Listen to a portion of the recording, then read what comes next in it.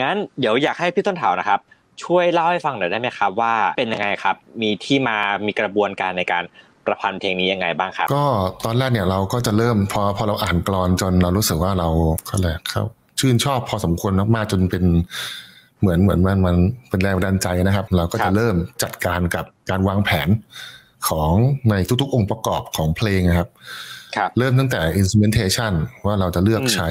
อะไรบ้างที่ประกอบการอ่านตรงนี้อะไรเงี้ยตอนแรกพี่ดีไซน์ว่าจะเป็น percussion แค่ชิ้นเดียว แค่คนเดียวอืมจะเล่นเป็นมัลติครับแต่ว่าพอเราอ่านบทกวีไปแล้วเรารู้สึกว่าเขาเดินเรื่องด้วยการเหมือนมีเรื่องราวที่มันโต้ตอบกับความความคิดของเขาอะครับว่าความคิดตรงนี้กับโลกที่เดินไปเป็นยังไงบ้างอะไรเงี้ยพี่ครับก็เลยใช้ percussion สองสอง player อืมเพื่อให้มันเกิด texture ที่สามารถเหมือนการการคุยกันได้ เหมือนมี question and answer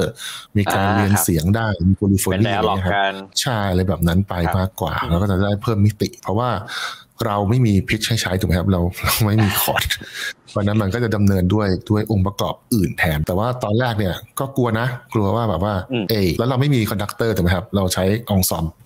อ่าใช่เราใช่เราใช่ตั้งใจที่จะเขียนเพื่อให้เขาสามารถเล่นเองได้โดยที่เราไม่ต้องไป conduct ตอนซ้อมจริงๆเนี่ย ก็ก็ไม่ถามเลยครับ คือทุกคนเคลียร์หมดแค่อืมอาจจะแบบว่าอืมมันก็จะเป็นเรื่องปกติของการการเล่นสดๆนะครับว่าก็มีบ้างนิดๆหน่อยๆหรือว่าอะไรเพราะว่ามันก็จะมีจุดที่ค่อนข้างจะควบคุมยากอะไรเงี้ยอ๋อแล้วพอพอเราเพิ่มเพิ่มตรงนี้ไปปุ๊บเนี่ยก็ดีไซน์ให้มี off stage ด้วยครับเพื่อเอาไว้สะท้อนไอเดียของของกลอนนะครับ คือนอกจากครับว่า rhythm ของกลอนแล้วเนี่ยสีสันของคำพูดก็จะสะท้อนผ่าน timbre ของ percussion ต่างๆ เสียงที่เป็นทองเหลือง เสียงยาวครับเสียงสั้น เสียงเครื่องหนัง เสียงเล็ก เสียงใหญ่ เสียงสูงเลยก็ ก็แล้วแต่เราจะจัดการกับมัน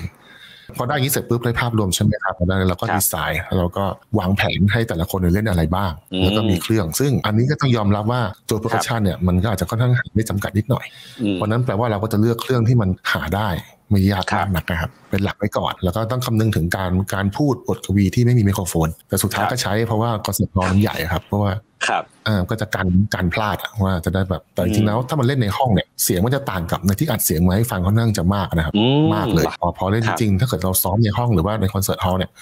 มันจะได้ยินเสียงเสียงที่มันเป็น overtone ของ percussion ครับแล้วมันก็จะตอบสนองกับพวกวีดรีเวิร์บด้วยครับครับหรือว่าน้ำอืมน้ำหนักเสียงของแสดงที่ที่ผู้เล่นเนี่ยเขาเขาสร้างขึ้นว่าเขาตีความจากจากบทกวีที่เขาได้ยินว่าครับเช่นมันจะมีท่อนที่ว่าเราเราเราเข่นฆ่ากันสมมตินะฮะน้ำหนักบนบน snare เนี่ยมันก็จะได้แบบหนึ่ง ซึ่งอันนั้นเนี่ยเราไม่ได้บอกเขานะเขารับรู้ด้วยอืมด้วยตัวเองว่าพออืม texture เป็นแบบนี้ dynamic อืมแบบนี้ก็จะเล่นแบบนั้นด้วยด้วยความนั่นไปอีกอืมแล้วก็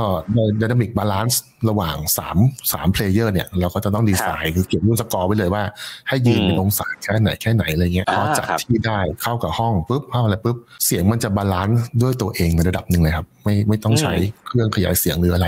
เพียงแต่ว่าตอนโอ้บันทึกมาเนี่ยมันก็จำกัดด้วยเทคโนโลยีนิดหน่อยอืมทำให้อาจจะไม่เหมือนร้อยเปอร์เซ็นต์กับการไปฟังครับสดๆอะไรเงี้ยครับ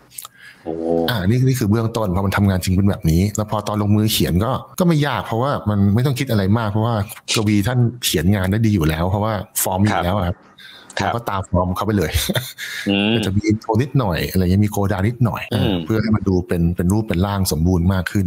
แล้วก็ระบายสีตามกับสิ่งที่บทกวีว่าไปทั้งเรื่องของอืมเวลาเรื่องของพื้นที่เรื่องของสีสัน แล้วก็ครับความทางอ่าเนี่ยองค์ประกอบต่างๆ ที่พี่คิดนะครับครับก็จะได้ภาพรวมเคล็ดลับมีแค่นี้